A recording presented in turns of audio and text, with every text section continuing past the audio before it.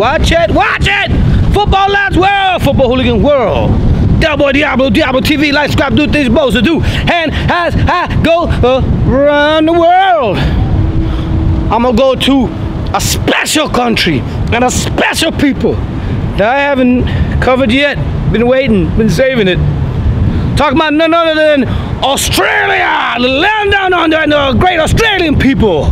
Thing about it is, when you talk about football hooliganism, I don't know that it's so developed as such.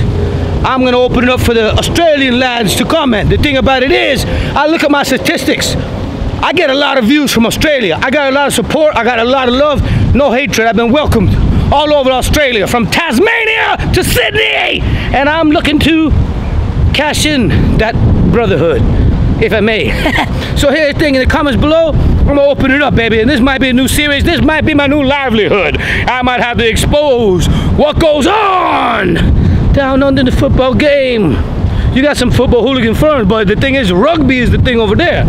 And the way I see it, rugby like NFL. A rugby team or NFL team will whip a hooligan firm most anyone, maybe except the Manchester, great Manchester United Red Army. They got so much numbers, they overwhelmed them. Jack and maybe had to use a couple weapons and tool it up a little bit.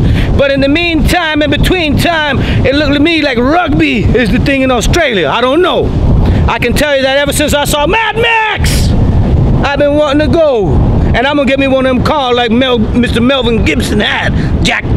And I want to go see where that Lord Humungus is. And if I see Lord Humungus, hey, wow, wow, wow, bop, that man say he the Ayatollah rock and roller. Not anymore? There, boy Diablo on tour to Australia coming soon. Yeah, thank you to all my Australian supporters.